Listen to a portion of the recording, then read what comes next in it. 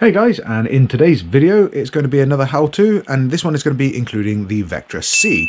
In today's one we're going to be looking at how to replace the rear caliper. We're going to be replacing the driver side one, but this is applicable to both sides. Hopefully this helps you out. Stay tuned to see more.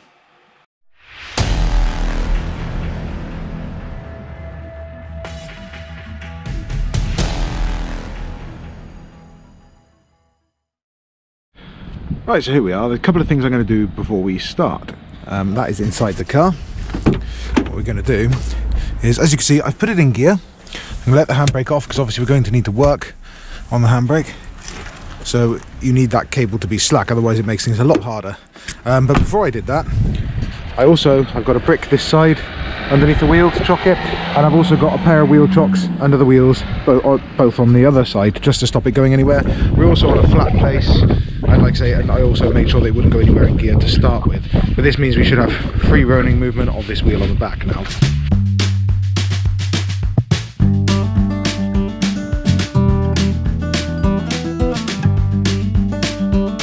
So here is what we're going to be replacing. And the reason is that is incredibly, incredibly tight.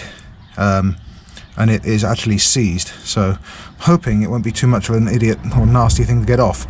But uh, yeah, we'll start off with the easy stuff first. I'll see if I can get the cable out and then we go from there then. Alright, as you can see, this is quite badly seized and I cannot get it to move. It'd be nice to get that all the way up so I could get this cable out of there really. If I can get the free off a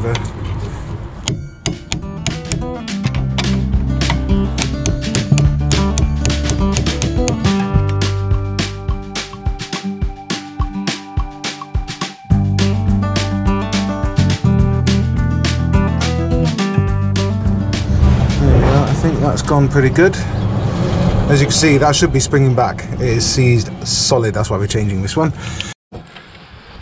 Right, now with that gone back, what we can do now, look, pull this one out a little bit with a pair of pliers, and then round like that then.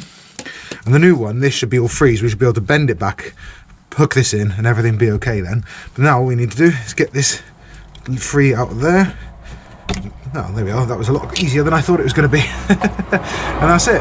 That's how you undo the cable. The next thing we're going to be doing is this bit down here, which is the brake line. But what actually, what I might do, leave that till last so I can just put the new caliper straight onto it so I don't spill too much on my driveway. The next thing I'm going to do is start getting ready to take the caliper itself off, which is very similar to if you're changing your pads. What I'm going to do first is get this spring clip off. And I would recommend just using a little screwdriver using force like that just wiggle it them out like that. It saves you possibly bending them and this top one is a bit stuck. If it is like your like yours wiggle it back and forth like that just because the thing the last thing you want to do is bend this to be honest because otherwise you've got to go find a new one then. It's going to be these caps on the back here which are what conceal the two 7mm allen key bolts which hold this to the carrier. So that's what we're going to be taking off next one thing I am going to do before I hit the 7 mil with that is I'm going to grab, I believe that is a 13 or 14 mil um, banjo bolt there which holds this one in. I'm just going to see about getting that one loose before I take this one off. Um, just because it'll make it a lot better. I'm also going to double check, make sure you give me the right caliper. And yet that looks pretty bob on to me. Superb. Yeah, that's actually a 13 mil. I wasn't sure because uh, most of the Japanese stuff and everything, they don't run 13s on them, but as you can see, that's quite tight. So just doing that, I'm not going to loosen it off too much because I don't want it to leak all fluid out everywhere, but I want it to be able to come off when I've got this off the caliper itself. I've got a 7mm Allen key socket, but I see, of course, you could use a 7mm Allen key itself if you wanted to, but it is a fair bit of force in your hands and it hurts if you use that, I find. so I prefer using this.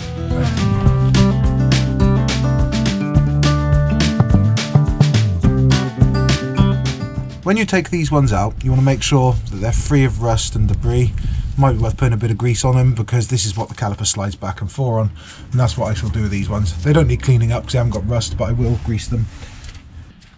Right, I apologise. Um, I assumed that I was recording the last bit, but you, I actually didn't realise I wasn't. Um, as you can see, what I've done is I have hooked the new caliper up to the flexi brake line there. Um, that's just to stop it leaking over the floor. Still got a bit of a leak, that's mostly brake cleaner, but that means I've taken the old one off. That is all you've missed so far, really. Um, hopefully. So what I'm going to be doing next is I'm going to be fitting it back in with these 7mm Allen bolts. I'm going to grease these up, clean clean all that gunk off of them, and uh, yeah, hopefully it'll be a case of just hooking this one back on, and away to go.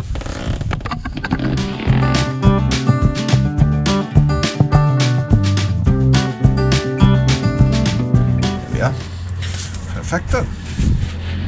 And because this is brand new, everything is already set, so you don't even need to wind calipers back, which is just awesome makes life so much easier. So what I'm going to do, I'm going to bolt these on first, and then I'll, oh actually, I'll grease those, cal grease those pads. I'm going to clean and grease these. I'm going to bolt that one on, and then it'll be easier to put the cable in then, I believe.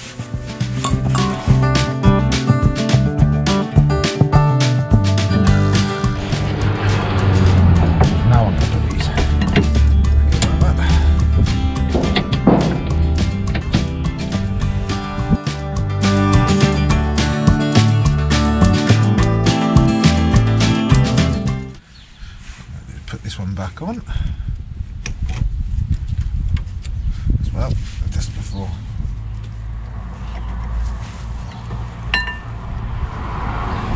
So that is amazing. I should be able to I can move that all the way back with my hand. Don't pump out the brake pedal till you've done this. And that means I should be able to grab this one. Pull it around like that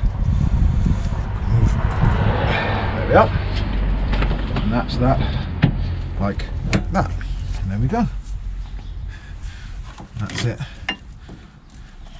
Perfect. And what we'll do is tighten, tighten these bolts up. And then I'm going to go, we're going to bleed it through.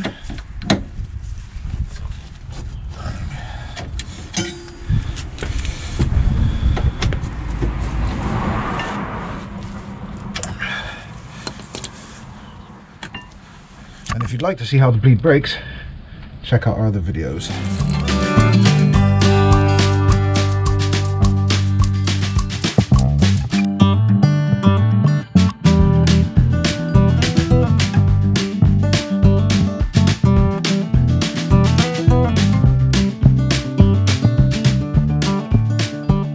There we are guys, I hope that helped some of you out. If it did, then please let us know by hitting a like and subscribe below this video. And uh, stay tuned for more content, more hints and tips coming on a multitude of different cars.